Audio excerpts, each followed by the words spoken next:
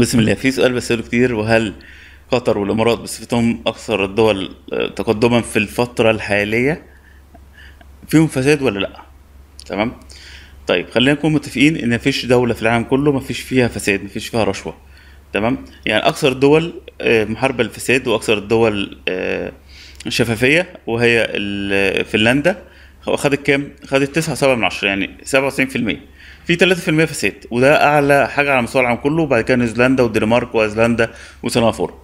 مفيش دولة في العالم كله مفيش فيها فساد ومفيش دولة في العالم كله مفيش فيها بيت دعارة مهما بقى تقول لي ده مقر الديانة كذا ومقر الديانة كذا مفيش دولة في العالم كله مفيش فيها بيت دعارة بس في فرق بين أنت نازل أسبوع في دولة الأسبوع كله عايز تسأل عن حاجة زي كده بس خايف يسلمك للشرطة خايف حد يشتمك آه، الموضوع نادر جدا أو أو خايف أنت تسأل أو الموضوع مش علني. وبين أنت تنزل من الطيارة تلاقي المضيفة بتقول لك دي أرقام تليفونات وكذا ولما تيجي حد يتكلم يقول لك اقتصاد الدولة معتمد على حاجة زي كده. ففي فرق كبير بين الاثنين في فرق إن أنت تروح من مصلحة حكومية فتلاقي الموضوع معروف وتلاقي خلاص معروف التسعيرة لو أنت عايز تمشي ورقتك هتدفع كام لفلان ويقول لك تلاقي الساعي يقول لك فلان ده بياخد كذا فروح ادفع له لك الورق. أوقات أنا يعني الموضوع عادي ولو كلمت المدير يقول لك إيه إيه الجديد؟ أنت يعني تلاقيه مستغرب هو أنت عايز إيه. تكلم شرطي يقول لك طب وإيه؟ ما هو ال- الناس كلها ماشية بكده. تمام؟ في فرق وبين إن أنت تروح في مكان آه عايز تخلص الورق بتاعك بس أنت عارف إن أنت لو سألت ممكن تروح في داهية وممكن ترفع عليك قضية وأنت يعني تقعد تلفت حواليك وخايف تسأل.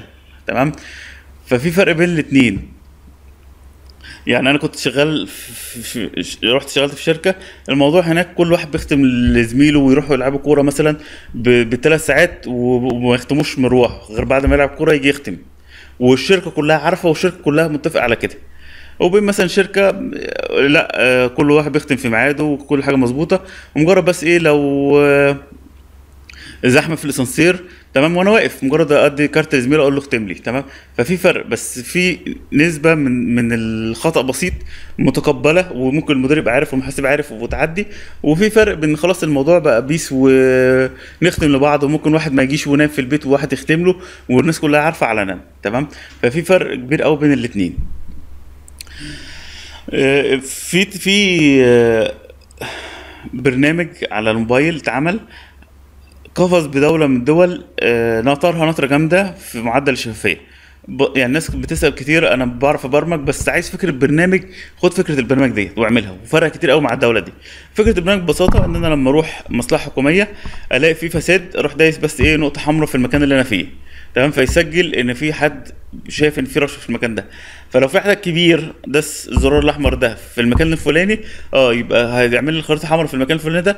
فأعرف إن مرور إكس ده فيه رشوة فالمسؤولين يعرفوا إن في هنا خلل ولازم الموظفين يتحاسبوا أو الناس كلها تبقى عارفة وتبص باحتكار للموضوع دوت.